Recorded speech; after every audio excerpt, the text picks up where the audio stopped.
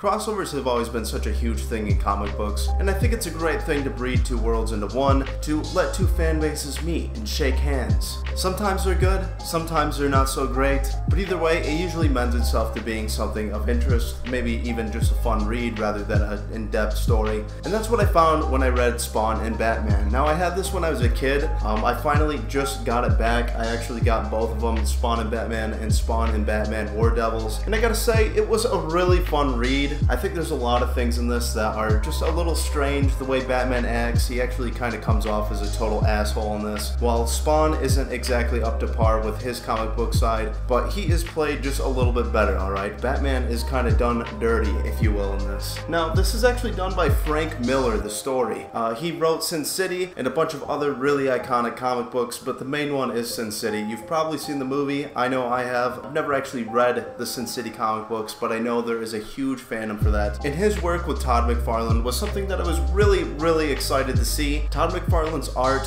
his cape work, all of this has always been one of my all-time favorites in comic book history. Between his action figures, the Spawn comic books, the Spider-Man comic books, he's actually has quite the career. He actually booted up Image Comics itself, which is by far one of my favorite comic book distributors that I can really think of. I think they come up with some really awesome one-shot stories, and I would have to say at least 60% of these are all Image Comics. And to say the least, I'm very excited to show you guys Spawn and Batman. This came out in like 1993 or 97, I want to say. It's either a couple of years younger than me or just one year older than me. And what can I say? Like I said, it was a fun read. Now where this all starts out is you're gonna see Batman dropping down from this ledge next to these docks, alright, he's trying to scope out these bandits, these local hoodlums, and he wants to just eliminate them from the area, you know, but not, not too harshly, right? Batman doesn't hurt people. Well, there's some things in this that are going to highly contradict this that I thought were absolutely hilarious. A cold night,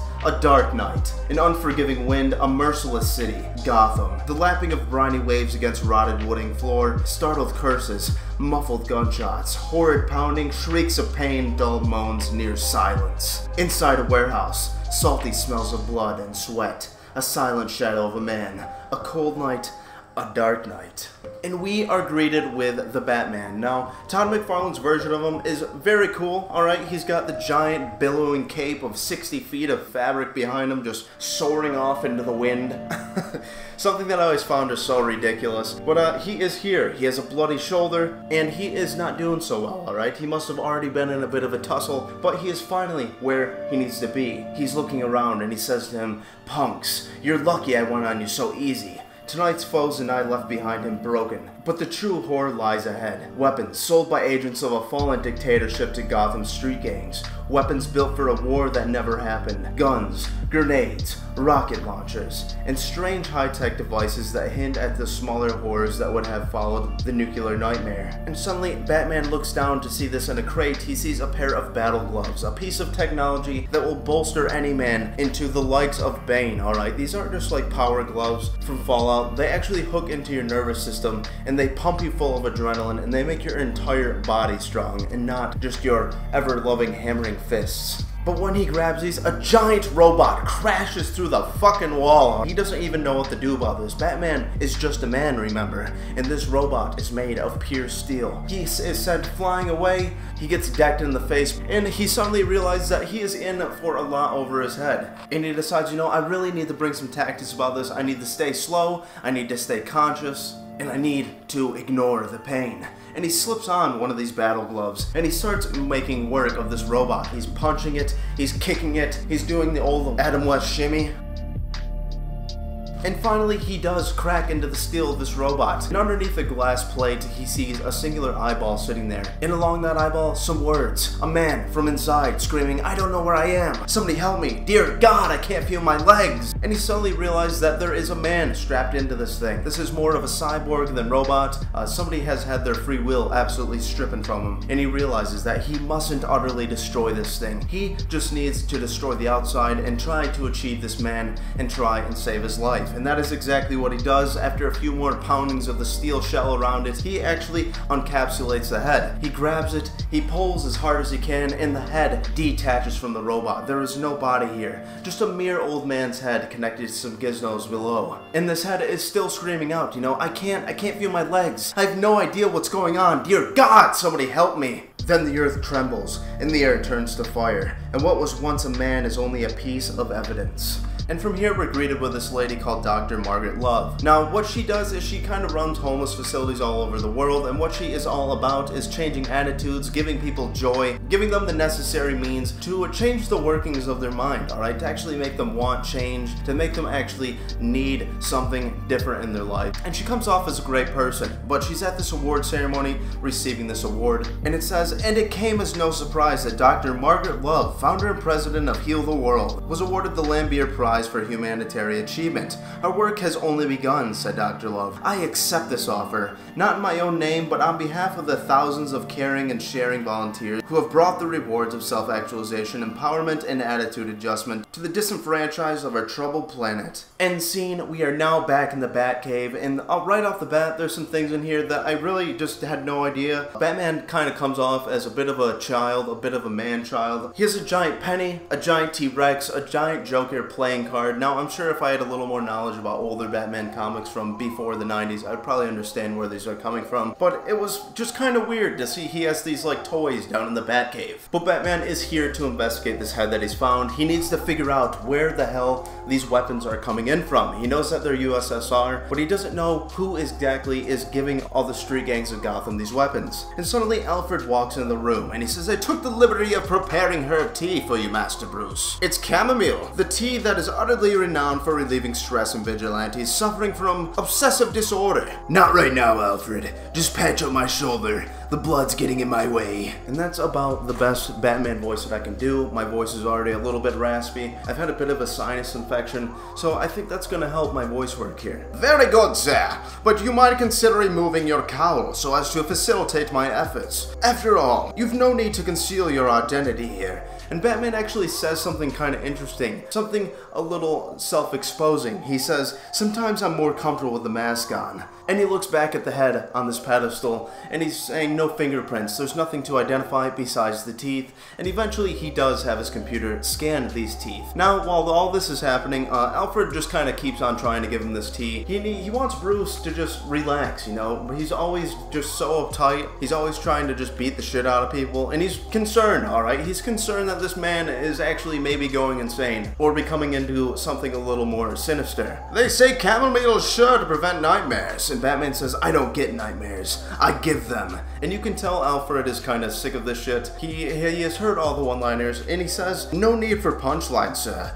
You're among friends. And suddenly, on the computer, records finally display themselves. Luis Bacchus, age 42, vagrant, acute alcoholic, last seen 42nd Street Mission, mid-Manhattan, presumed dead. And Batman basically has his next lead. He takes these newfound power gloves in the head. He tells Alfred, put this on ice and put these in my secret vault and just get out of here with your chamomile tea. I do not want it. I do not need it. I don't drink tea, God damn it and suddenly Batman is off to the Big Apple, to New York City, to become to become a star kid.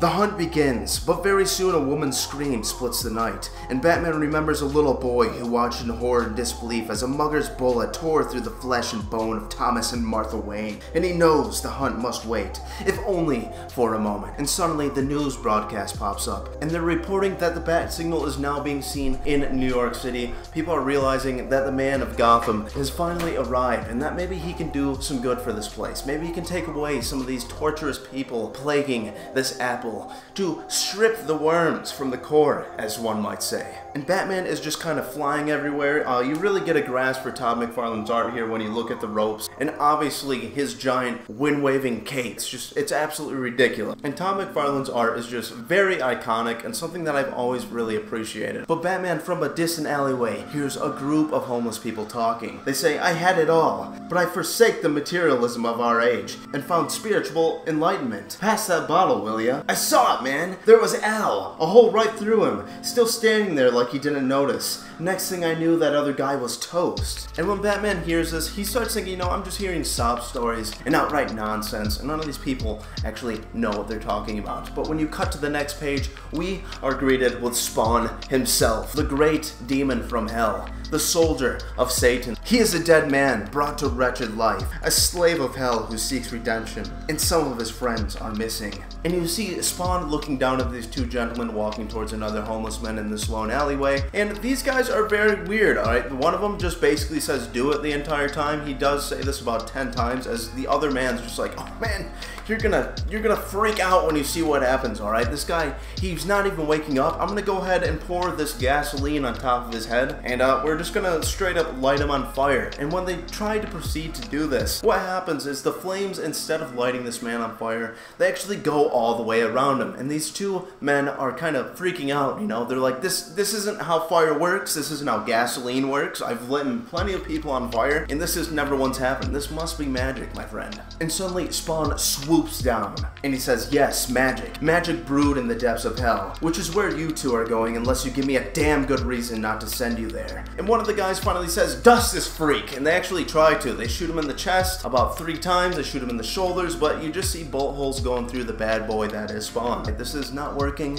Spawn actually tells me, No, you're, you're being ridiculous. And what he actually does is he powers up his everlasting hell powers into his fists, and he sends these absolute scumbags down, down, down into the pits of hell. and Batman is overlooking this from atop another rooftop. And I'm so sorry if I'm incredibly sweaty. This light in front of me is just so fucking hot. It's already hot day. It's like 85. And I'm in this closed off room. So I can only imagine this camera is gonna overheat at some point. But anyways, yes, Batman sees this. And he's thinking, this man is an absolute murderer. He has no context for the situation. And on top of that, he doesn't kill people, alright? He would rather break every vertebrae in their fucking body. Which is not far off. We're getting there, alright? I'm not being ridiculous. A wanton act of murder. And he swoops down, crashing his fucking heel right into the kidney of Spawn. And he says, You must be Al. Spawn goes crashing to the floor. It doesn't really help him, figuring, you know, he does have all the powers of hell within him, and he is actually an anti-superhero, whatever you want to call him, while Batman is just a man. And Batman's thinking, there's one good thing about murderers. You don't feel bad about taking a cheap shot at them. Like getting a good momentum from a 30-foot drop and driving a heel into the murderer's kidney. Shouldn't cause too much damage. Six months in the hospital, and he'll be ready to face the judge. You see that? Alright? Batman finally admits it. He's trying to cripple these people. He is not holding back. He knows that as long as they live, he can keep telling people he doesn't kill people. Well, I think that's a load of shit, Batman. I think that is just absolutely wrong. I think half the time these people would rather be dead than to be absolutely crippled for the rest of their lives. And Spawn says, this is my turf, Batman. Back off! Impossible, this Al. He should be just the side of crippled. He says it. He says it, but he pivots expertly, delivering a kick of his own that makes all the air leave Batman at a rush and suddenly they are in this huge battle. Batman throws him against the wall. He's punching him in the head. And Spawn is basically just laying there this entire time, you know, just thinking, come on, dude, like, I got I got stuff to do. And obviously, you're you're not doing anything to me. Batman pulls out some of his batarangs, and he actually starts throwing them. Spawn deflects him with his chains like they're nothing. He says, knock it off, Batman. I'm not in the mood, and I don't have the time. Got the time for this, punk? And Batman kicks him again. Another kick at that slab of granite. The spine of a man would shatter but he isn't even breathing hard. Breathing, that's it. Whatever he is, he still breathes. He still needs to breathe. There's a reason you carry your utility belt, you idiot. And he pulls out a thing of nerve gas, and he tosses it over at the spawn, alright? He's trying to use enough for a mob of people, enough to put them all down at once. And Spawn is coughing, alright? This does actually affect him, and Batman goes on once again, alright? He's kicking, he's punching, and some of the scenes in this are absolutely hilarious. I will get a close-up of this one right here. I think this is so funny the way Batman's just sitting there. He's like, he's literally like, he's ah! just doing everything he can possibly do to defeat the soldier of hell, just being a mere man. But it does not work. It feels like cheating, thinks Spawn. It is cheating, using the magic to make himself strong, to beat the crap out of Batman. And suddenly Batman realizes this man is way incredibly stronger than me, and I may have just dipped down into something I might not have wanted to touch in the first place. And Spawn basically does uh, just kick the shit out of Batman, alright? And Batman runs away. He says, I'll be back, alright, you little punk. Count your blessings. I let you off so easy. And suddenly it shows Batman sitting in this alleyway, alright? He's trying to teach himself how to breathe. He's twisting his spine back and forth in order to get it back in place. He slips his shoulder back into its socket, alright? This man has been obviously beat hardcore. And as he's trying to breathe, he tries to push away the humiliation of being beaten so badly and so easily. He knows that the spawn was holding back this entire time. Meanwhile, the building, old and crumbling, the door looks like it would break if you just leaned against it. Back when Al was a soldier, back when he was alive, Al Simmons could pick one of these beauties in a flat 10 seconds. Now it takes him 12. A junkie named Silvio led Spawn here. He seemed to know something. You can check in, said Silvio, but you can never check out. Spawn opens this door and suddenly a ginormous gun is held to the back of his head. And he actually has the time to do some sweet ass summer flips out of there. Alright, he's he's dodging, he's jumping, and suddenly he pulls up the powers of hell once again in this giant, awesome green looking orb, blasting it to utter pieces. And falling from within is another one of these cyborg heads, another man. And he actually recognizes this head. He says, Chuck? Chuck, what the hell? Who did this to you, pal? Chuck can't really say anything. He's just ahead at this point. All he can say is, I don't know where I am, and I can't feel my legs. And it seems that there might be a pattern here. And suddenly a TV from behind him turns on, and it says, My dear friends, and it is Dr. Margaret Love. You've worked so very hard. All these months, I'm so very proud of you. You are ready now. The final stage of your rehabilitation begins. Prepare to shed your poisoned bodies and become perfect servants of society, free from guilt and pain, free from choice. And suddenly it is revealed that Dr. Margaret Love is actually taking all these homeless people, putting them into these cyborgs to alleviate them from the tedious life of free will, the thing that keeps bringing them back to the drink, to making poor decisions, and she wants to just turn them into social servants for everybody else. She thinks this will be a better life, but very obviously, she is just extremely evil. And Spawn actually recognizes her for back from when he was a soldier and this lady is actually a demon. It says her voice is like music, hypnotizing, then like a thunderclap, a fragment of memory, the memory of Al Simmons. On some ghastly foreign battlefield, she was smiling. Men screamed and died, and she was smiling. And suddenly Spawn can feel his body vibrate with the powers from hell, and he does nothing to hold us back. He blasts through the sides of the walls of this building, and it crumbles down, down into the ground. And suddenly we are back with Batman, and he says the punk was holding back. Don't dwell on it. Patch yourself up, you'll be ready when duty calls. And Batman sees a bat signal out in the mid New York City, and he is kind of ecstatic about it. He actually says, you know, this is a little weird seeing uh, my franchise out here in the Big Apple. You know, this is this is awesome. My network is growing. McFarlane toys are gonna be through the fucking roof this quarter. and he arrives at the signal, and who do you know? Dr. Margaret Love is here to greet him. She says the security camera spotted the thing that did this, Batman. It was all red cape and chains. It reduced my beautiful mission to rubble. Oh, Batman, all my dreams are in your hands, and now I fear it will go worse. Tonight, a fundraiser aboard the Heal the World ship. It's rumored the president may attend. If anything should happen, and Batman cuts her off, and he's like, he will be stopped, Doctor. He won't get anywhere near your ship.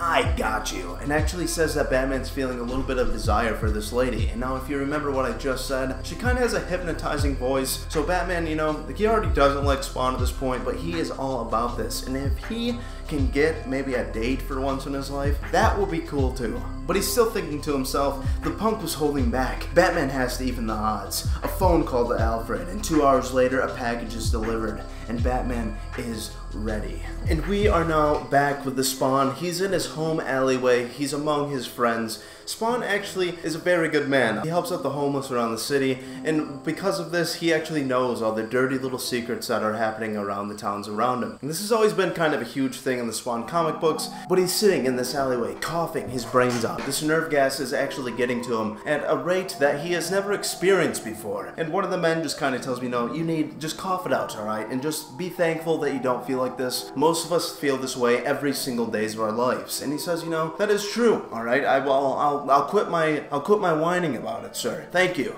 And he says, the creep who did this to me, Batman. If he's not an idiot, he's learned his lesson. And none of these people around him believe him, alright? They say, Batman, right, you tell the best stories out. And he says, it's not just a story, it was the Batman. And if he's working for that Nadia Vladova, or Margaret Love, or whatever she's calling herself these days, then he's not the hero everybody says he is. And one of the homeless men says, kinda like Elseworlds, huh? And this I really loved. Elseworlds is a series of comics that um, are like multiversal kind of things. There's actually one where Batman becomes the Green Lantern, there's one where he becomes a vampire. There's just a whole bunch of just like what if type style things. I've never gotten to read these yet, but I've seen them and they look really fantastic. The artwork in those look very, very cool. And one of the men says, What are you talking about, Mick? Hey, look, up in the sky!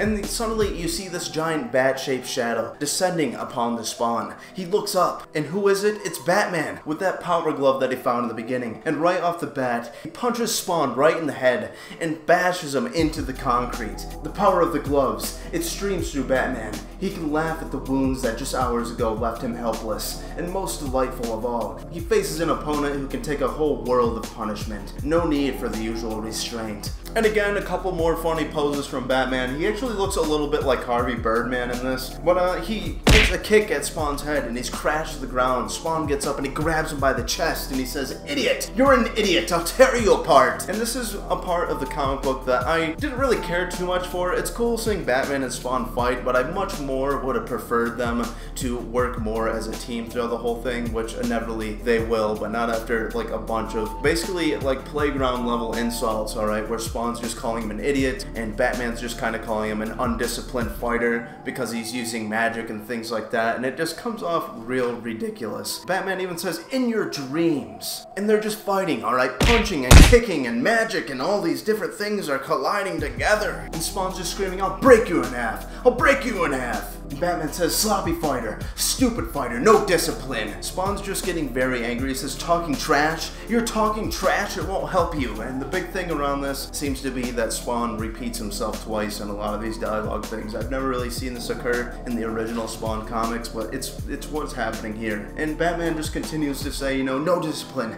stupid fighter, stupid punk. I've also never heard Batman say punk since maybe the Adam West days. And once again, the Spawn repeats himself. He says, you've had it, you had it, you're done. Just warming up, you stupid punk. And they just keep punching and kicking, and nothing's really happening until they're both, like, kind of just tuckered out, and they kind of both crawl to different sides of this alleyway, and they're both just sitting there talking shit. Batman says, give up, punk. You're finished. Just look at you, you're finished. Look at you! You can't even get up, you're the one who's finished. I'll rip you to pieces, undisciplined slob. Catch my breath, just catch my breath and I'll break you in half. And as they're both talking shit, what do you know? One of these mysterious cyborgs creeps up from behind them and it just starts pulverizing Batman into the ground, alright? He's caught totally off guard. Spawn is a little too tired to actually fight back in the moment and he's just kind of watching this happen. While it is very gritty scene, alright? You actually see Batman bleeding from everywhere. One of these cyborgs distends or extends one of his posts from his arms and and he stabs Batman directly in the shoulder,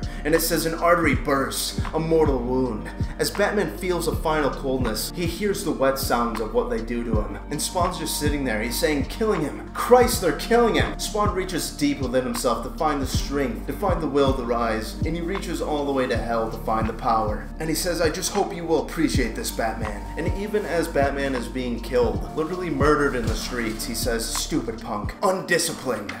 doesn't want the help, it's a classic Batman, like, just trying to ward off Superman from helping him with the city. Uh, he just doesn't want it, alright? He's humiliated, as he said before. But as Batman lay there dying, these robots are completely obliterated as you see this giant atomic green wave wash over their cold-hearted steel. And it's pretty messed up, but you gotta say, when I see this little image of like Bruce Wayne's cheeks all popped up, it's very cartoony. I think Spawn definitely got the better artwork in this over Batman. Batman is cool, but with his cowl and things like that, he just doesn't come off as realistic as Spawn actually does does. But uh, Spawn is standing over top of him, and as Batman is still talking his shit, he says, You're not making sense. You're in shock. It looks really bad. His heart stops. There's no blood left in him. It would take a miracle to save him. And Spawn takes his hands, and suddenly he's waving this giant blue orb above him, and he sends it plummeting into the Batman's brain. He's inside of his consciousness, and Batman says, What are you doing? Alright, Batman is dead at this point. Spawn is actually bringing him back to life. And he says, Saving your life and dropping in for a visit. Get out of my head. Hear that, Batman? That's your heartbeat. You didn't have one for a while there. You're welcome. And Batman just does not like this. He's actually calling him a twit. Have you ever heard Batman use the word twit? I don't think so, alright? I don't think so. I could do that, but then I just have to beat the crap out of you all over again. And they just keep talking shit, and I don't want to have to repeat everything out of this, so I'll just leave that all to you to read this yourself on that part. And eventually Spawn tells me, no, no, I'm not getting out of your head until we've had a little chat, swapped a few stories, traded a few pieces of each other. He needs to swap some memories with this man, so he'll stop just trying to fight him for basically no reason other than an out of context murder, alright? These things happen. Batman just needs to chill out. And you get this great artwork of them melding minds. You get to see Spawn without the mask and Batman. They're terrified, alright? They both had some. Well, actually, Spawn is actually literally from hell and was gunned down by his fellow soldiers. Well, Batman just watched his parents die, so that's kind of ridiculous that they're both, like, kind of even Spawn's like, man, you've had it bad. It's like, bro, you literally came from the bellies of Satan himself. But Batman's seeing everything Al Simmons did when he was a soldier, and he says, Murderer. You're a murderer a hundred times over. You're detestable. And he says, I was a soldier. I fought and died. I wasn't some rich kid with a hang-up about bats. A soldier facing bullets bullets, your parents, and he actually sees Batman's parents being gunned down. And Batman just wants him out of his head, and he says, not until you know. Look at her, Batman. Listen to the soldiers gibber like idiots and scream and die. That's Margaret Love and her damned experiments. In the artwork right here where you see their minds melding, you're seeing these bats and Margaret Love. You're seeing Al Simmons gun people down. You're seeing Bruce Wayne's parents being shot. And it's very interesting. It looks a lot like uh, DC Vampire Killers where Batman is turned into a vampire himself. And it's just very nice, alright? Todd McFarlane's artwork is super great, especially on this segment where you see Spawn and Batman's head looking in different directions with uh, just the backgrounds and things like that. It just is very pleasing to the eye. It's everything I wanted out of a Spawn and Batman comic book when it comes to art. Maybe not the story, but at least the artwork is good. And Spawn says, do you get it now? And Batman says, yes I do. I know you're a little thick, but do you understand what she is and what we have to do? And Batman looks down and he says, yes. Now get in my head, you twit. And you see them standing there in the alleyway. Spawn has now healed Batman, brought him back from death, and he says, Nothing I'd rather do. It's not a very nice place. You ever think about getting a little bit of help? He's actually like, Man, Batman, you're kinda. I'm from hell, alright? And I'm, I'm more mentally strong than you. All right, you, are a little, you're a little loosey goosey, and I would agree. Batman in this is a little off hinge, but Batman just basically tells him to shut up once. He says, "I can't take the prattlings of a dead man. It's my worst fear." And from here, you get the most badass pinup you've ever seen of Spawn and Batman, both just like lunging down from the city. They're both just like, if I can put my legs in the right position, they're both just like. With their giant 60 foot capes behind them off in the wind. It's a it's a wonder how these don't get snagged on any buildings and actually end up killing them both by being accidentally smashed up against a skyscraper. There's actually a variant cover of a newer uh, Batman and Superman comic where you actually see their capes. It's the Todd McFarlane style where their capes are just billing crazy, but they're actually like wrapped around their faces and their entire bodies and they're kind of like struggling to get out of it. And I thought that was just so hilarious. So enjoying this image. I thought it was absolutely great and I love it when comics actually kind of look at themselves and laugh. But suddenly we are greeted to the ship of Margaret Love. And she says, Distinguished colleagues, honored guests, my dear, dear friends, God bless you all. When I was just a little girl, I saw the sadness and suffering around me, and I decided to dedicate every hour of my life to healing the pain of our troubled planet. As years passed, an aching emptiness filled my soul, a vast, hopeless black hole. And everybody's kind of drinking this punch, and it actually says that there's no alcohol in this, but there is something that makes people a little more subjective to persuasion. It actually also says the president isn't quite here yet, and Margaret Love is just going on her speech and everybody's enjoying her silky, smooth voice. For every mouth we fed, there were millions still hungry. For every mind we turned to love and joy, there were nations of slaves to bigotry and hatred. It all seemed pointless, impossible. Truly, how can anybody heal the world? A sympathetic sob from the Attorney General, low murmuring of sad agreement from a senator. Then one day an epiphany like a lightning bolt, it struck me. All the confusion and complications fell away. It's all so simple, so obvious. The problem is people. And the vice president nods. He says, yes, people suck. People, people are not good. People, sweating, farting, meat-eating, land-destroying, cruel, stupid, murderous people. People sprawling across the planet, cluttering its natural perfection with endless flesh, countless factories, diners, mini-malls, and toxic waste dumps and concentration camps. And suddenly this giant steel door opens up from the top of the ship. And as you see as she's making the speech down below, you see a giant amass of military items from artillery, rocket launchers, more cyborg robots, all these different things. And Margaret Love once again says, The problem is people. We stand at the brink of a great destiny, my friends. We have a glorious opportunity to usher in the new world. A world free of pain, fear, and war, and crime, and all other evils of human willfulness. And all it will take is a war that will grow and grow until the fire is everywhere around us. Then, when the fires have died, our historic work will truly begin. Using a trinity of methods, therapy, technology, and force, we will offer freedom from choice to every living soul. We will free the world. We will heal the world. And everybody applauds. They've all been drinking a bit of the Kool-Aid, if you know what I'm saying. And they're all just agreeing. They don't see what's below her. They don't quite realize that what she's talking about is basically killing all the scum of the earth and only leaving the people that are willing to change alive. It's pretty, it's pretty out there. Now, meanwhile, you actually get the scene of Batman, and I'm pretty goddamn sure this is Batman snapping somebody's neck, alright?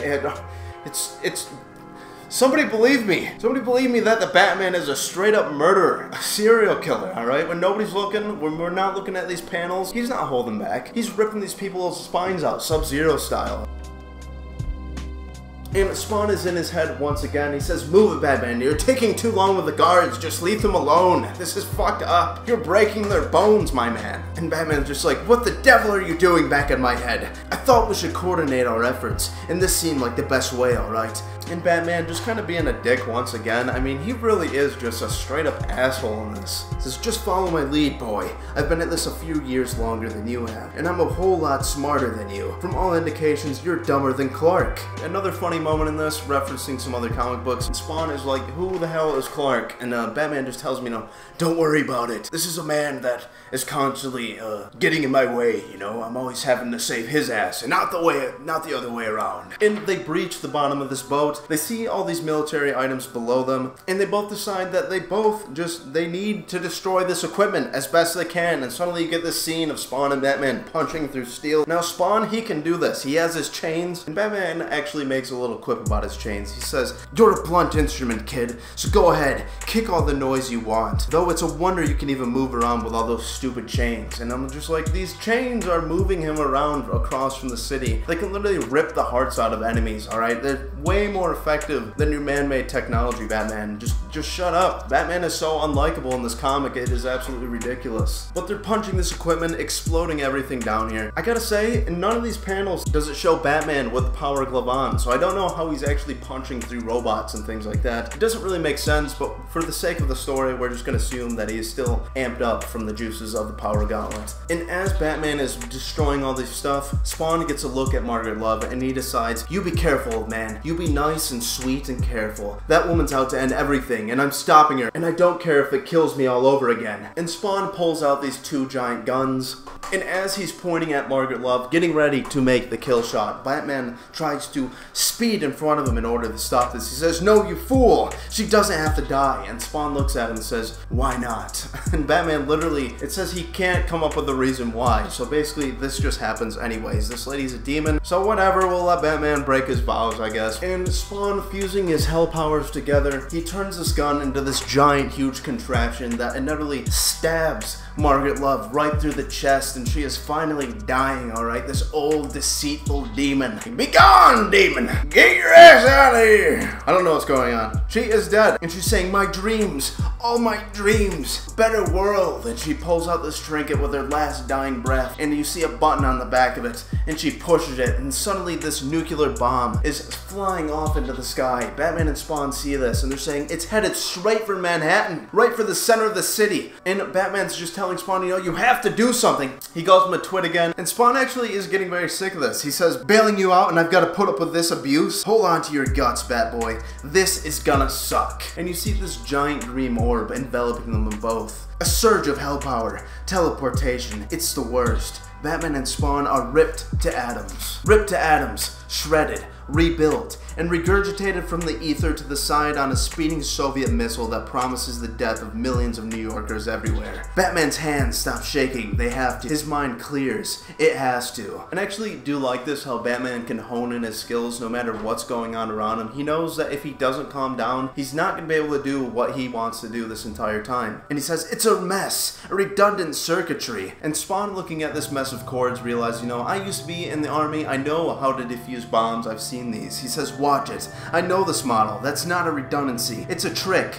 Touch it wrong and everybody dies. And Batman turns around to him and he looks at him with total disdain. And he says, I won't touch it wrong. And don't you touch my cape ever. Nobody touches my cape. Even that bastard Superman who's always getting in my way. Alright? He's getting in my way. And the book itself says genius at work. A mind so brilliant it might have revolutionized the field of physics. Hands so skillful they could have served a concert pianist or a safecracker. Batman, detective, vigilante, savior. And after Batman's done being a total narcissist, he actually does defuse this bomb. And he says, that's it, it's dead, get us out of here. And suddenly Spawn teleports them back into the alleyway with all the homeless men, the place where he resides. The missile crashes down into the Manhattan River, and everything is saved, alright? Everything went as planned, everything went good, and Batman and Spawn are just sitting there, you know, they're conversing. Batman says, your methods are revolting. Your disrespect for human life is detestable. Your lack of discipline is nothing short of embarrassing.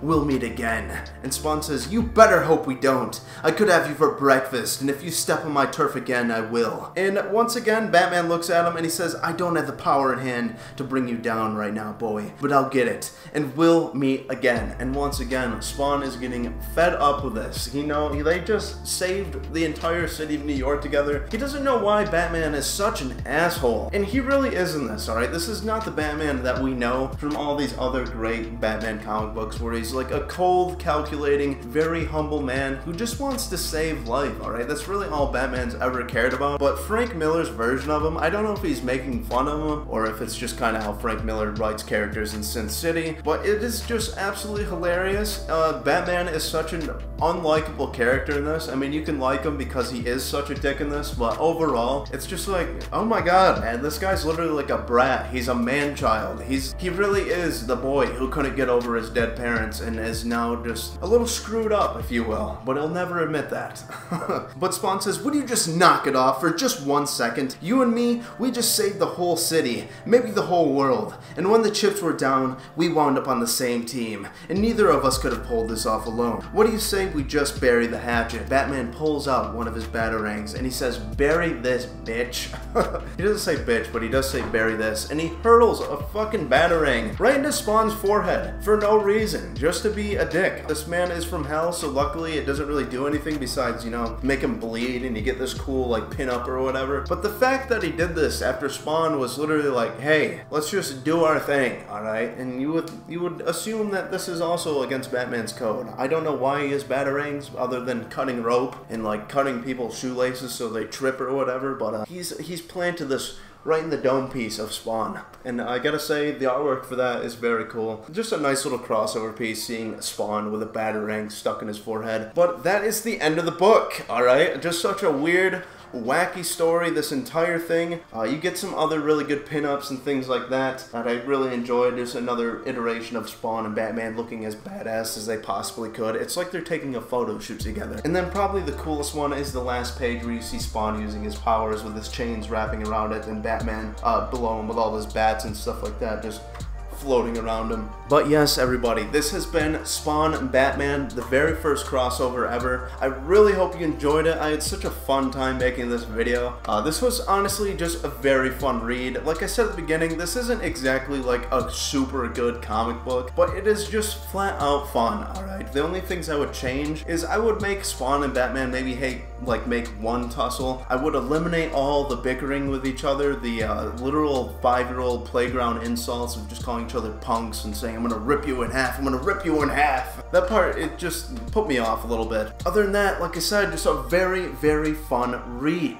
I think seeing Frank Miller's version of Spawn and Batman is very cool. Just his writing style and things like that. I would very be interested in uh, checking out Sin City just to see if there is, like, if I can tell that this was his writing, if I didn't already know it was Frank Miller. And then Todd McFarlane's artwork is always such a beauty. Uh, in the next one, uh, the art styles are very different with Batman Spawn War Devils. It's a lot more crude, actually. And I actually don't think I, I don't know if that one is Todd McFarlane drawing it. I think it actually might be a couple different people, but it actually has to do with Roanoke, the missing city, and like it's very, very interesting. So I would pick these up yourselves if you are a collector. These are very cool. They're starting to get a little harder to find, but you can still find them for about 10 bucks a piece. Yes, just incredibly fun.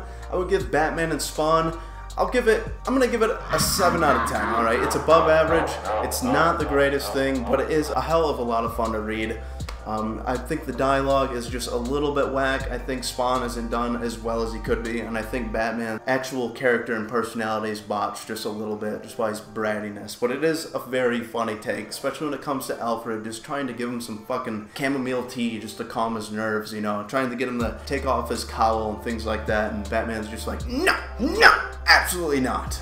He's just like, I am this man. Leave me alone, Alfred. And Alfred just kind of like, just like, just, just get married already, alright? I just want to take care of your kids, not fucking stitch up your goddamn soldier every night. We need a Batman comic where just him and Alfred get in like a domestic dispute or something, alright? They have that final fight, they finally break up, and Alfred moves on to another superhero. Maybe he goes and helps Robin, alright? But depending on which Robin it is, he's not much better. You have the, the Tim Drake Robin who uh, died and eventually became Red Hood and now just kind of straight up kills people. They are bad, but he does just, you know, he shoots them in the face, alright? You don't shoot a man in the face. and then you have Dick Grayson, who goes on to become Nightwing, and uh, he's he's a little better. He's got more of a moral compass. But yes, everybody, this has been Spawn and Batman. This is by far one of the longer videos, but I had to have fun with it. I had to go through the whole story so we could all enjoy that together, and hopefully when I edit this, it comes out very fun, very watchable. Uh, hopefully we can get this one past 100 views. I hope. We had two videos get one get to 100 over 100 views and the other one get up to like 80 and I gotta say that felt so good to actually have that happen. So I'm glad we're seeing a spike. So all you new people who got around to the end Thank you so much for watching. I really do appreciate it. I have so much fun making these videos. I know there's like Comic Explains and uh, Vanity Comic, and there's a whole bunch of people who do a really good job, but I'm, I hope you're seeing that I'm doing this a little bit different. It's more of a story time thing rather than like a fact giver or a review or something like that. You know, I'm just trying to have fun with you guys and tell some interesting stories. And I think I got some very interesting ones coming up whenever I get around to doing this massive collection. I just got a whole thing of Clive Barker and whatnot. But I'm gonna cut myself off there. Once again, everybody, thank you so much for watching. I appreciate it so much. If you did enjoy, please like or comment or subscribe. Do whatever you can to help my baby baby channel. Go follow me on Twitter. Go follow me on Instagram. Go follow me on TikTok. Any of these things would be more than acceptable. So, without ado, Spawn and Batman by Frank Miller and Todd McFarlane, two of the greats of the comic book industry, uh, the founder of Image Comics itself, such a great company. They give so many people good chances to tell just awesome stories, whether it's superheroes or not, and I gotta appreciate that. I really try to give myself a good variety when it comes to these comics. But yes, everybody, I will see you again on the next episode. Eventually, I will get to the next Spawn and Batman thing. And just before we go, I do want to say there is a new Spawn and Batman crossover coming this December. I'm insanely, insanely excited about it and I hope they make it a little more serious. I hope Spawn and Batman are more acquainted with each other and aren't like fighting and bickering the whole time. But uh, we'll see how that turns out. But everybody, have yourself a fantastic night, and thank you again so much for watching. See y'all later.